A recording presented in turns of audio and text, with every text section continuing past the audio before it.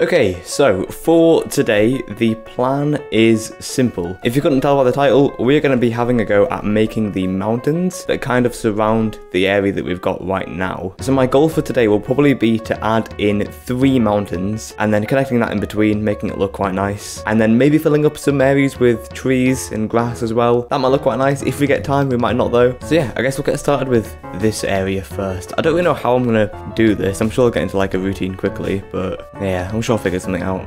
Okay, so I started off building out to a point where I wanted the mountain to be, and then building up to the height where I think was suitable. I then made a very quick and basic outline of how I wanted the mountain to look, and I did this for each of the three edges. I didn't realise this at the time, but this is one of the most important parts of making the mountain, and I probably should have spent a bit more time on it than I did.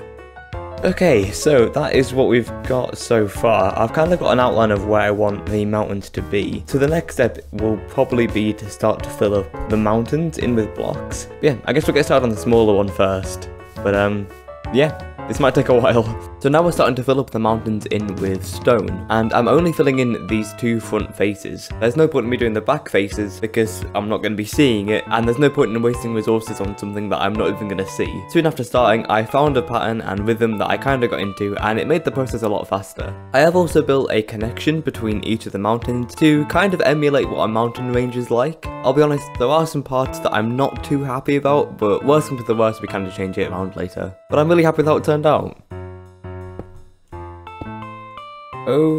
Okay, and I think we might be done. Yeah, I'm quite happy with how that turned out. I think it looks quite good. So what I want to do is link up the dirt grass that we've got here up to where the bottom of the mountains are. But yeah, we'll get started then. So I started to build up dirt up to where the mountains were. I have left some spaces on the right hand side where I intend there to be another mountain, but continuing this all the way around, going over with a bit of bone meal and saplings, made it all look really foresty, which is exactly what I was aiming for. As I mentioned earlier, I kinda wanted to add in a waterfall going over this section, and then carved out a very basic river and led into a tiny little lake. And after adding a few more saplings and grass, I do think it looks quite nice. Okay, so that took quite a while to get done, but there are the mountains that we've got. I have added in these two smaller ones just next to it, just because there was a gap here and I didn't really know what else to really add. It just filled out the area a bit better. We've pretty much done this entire corner.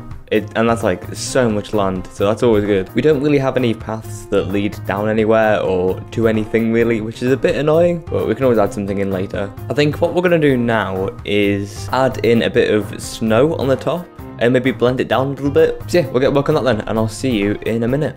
So now I'm throwing over a bit of snow over the top of the peaks of the mountains. And it is a bit annoying how it's literally impossible to get snow blocks in super flat, so I have to use white wool instead, which is a bit annoying, but it looks the exact same. I did intend for the top of the mountains to be more thick with white wool, and it gradually fade out to less, and I really do think it turned out really well.